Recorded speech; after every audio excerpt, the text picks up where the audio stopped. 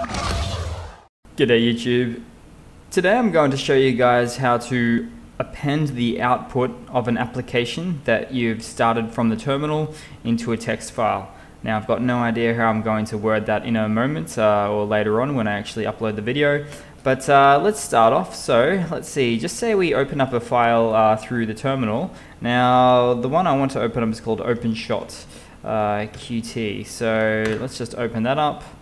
Uh, and you'll see all that output there. And that's really sometimes can be interesting stuff. Sometimes you might need to do debugging, things like that. And we want that to all go into a file, let's just say on the desktop. So in order to do that, let's start from scratch here. Open up a terminal again.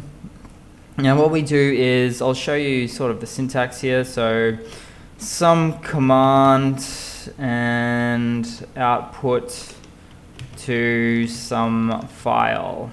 Now let's start off with making the command. So that's open shot qt and let's put that to the desktop some file.txt. Now let's do this again, hit enter. Boom. Okay, great. And you can see first of all the application has uh, loaded up there and you'll also see uh, there's a whole list of information that was previously in the terminal.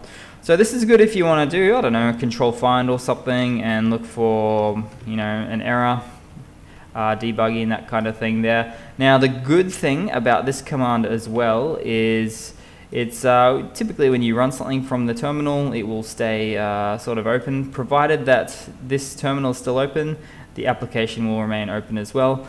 Now, uh, the there's also a little, I guess you could call that an append command. So as soon as I keep, uh, well, just say I do things in here. Let's see. Let's just say I do that. Oh, I don't know if I want to render that, but that will cause this file that I've output to to keep updating, keep updating, updating, which is good because you can see more information as it comes in. and you can go reload, and there we go, Bob's your uncle. But uh, that's pretty much it in a nutshell, guys. Uh, that is how you output uh, information from a, an application that you've loaded uh, to uh, yeah the text file on your desktop. Cheers, guys. I hope you've enjoyed.